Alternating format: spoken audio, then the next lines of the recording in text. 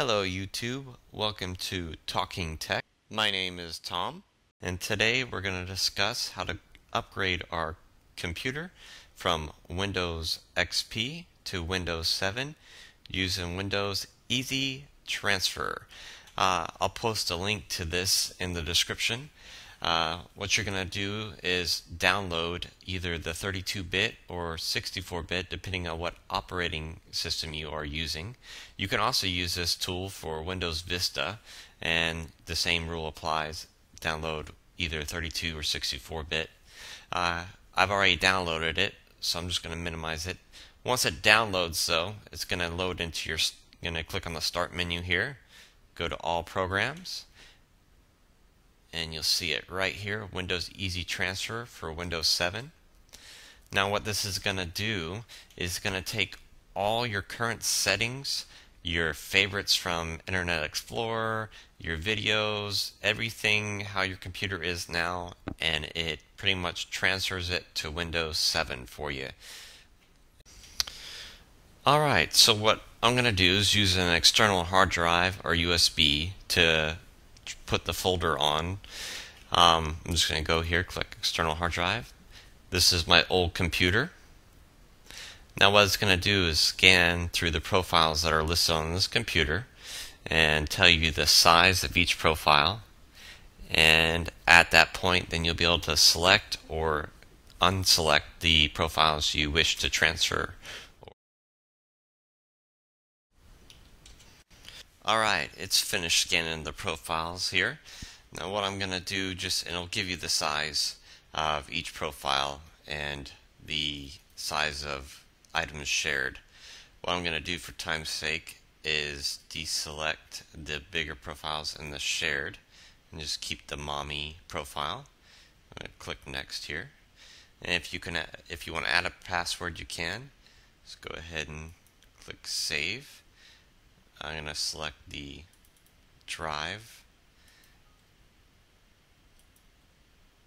and there we go.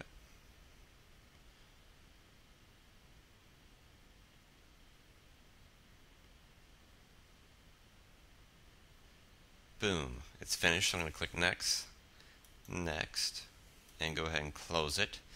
Now, I would recommend that you use an external hard drive for sure because as you can see some of the profiles are a little bit bigger uh, than what can be uh, fit on a USB.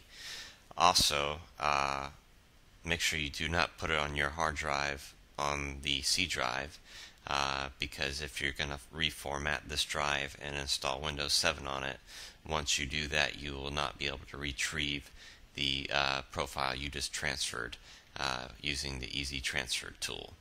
Um, next what we'll do is install Windows 7 and show you how to bring your profile into Windows 7. Alright, so we've installed the Windows 7 on our PC. We're going to upload our profile from XP and what we're going to do is we're going to go down here to the start menu and we're going to type in Windows Easy Transfer should pop up right here. We're going to open that. In the same window as before, it's going to open. Click Next. We're going to say we used an external hard drive.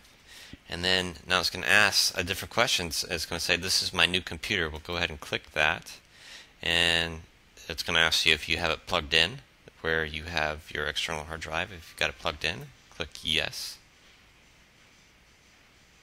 And then you'll select the hard drive and then the file. And it's going to bring it up here.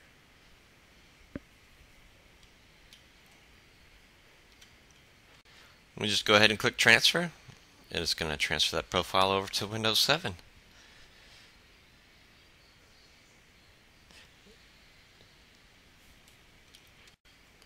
It's going to ask you if you want to see what was transferred and list of programs that you may want to install on your computer again. Uh, you can click through each of those. It'll give you, there's 15 documents transferred over, one user account, and then here's a suggestion of programs that you may want to reinstall on your computer. As go through. And that's it. We'll just click close. Well, once again, my name is Tom, and this is Talking Tech, and thanks for watching.